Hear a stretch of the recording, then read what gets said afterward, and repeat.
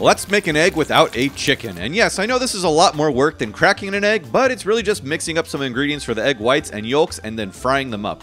And this recipe will make a dozen eggs or so, and you can keep the mixtures in the fridge for about a week, and then you can just whip up an egg every morning in just a few minutes. I'm also using reverse spherification to make the yolks, but you can skip that process and just make an egg with a runny yolk or even over easy. And before folks tell me that this is just a bunch of chemicals, remember that everything is made of chemicals, even an actual chicken egg.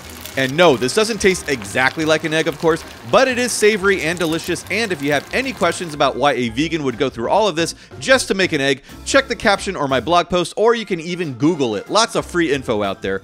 Otherwise, if this appeals to you and you decide to make them, I hope you find them totally excellent.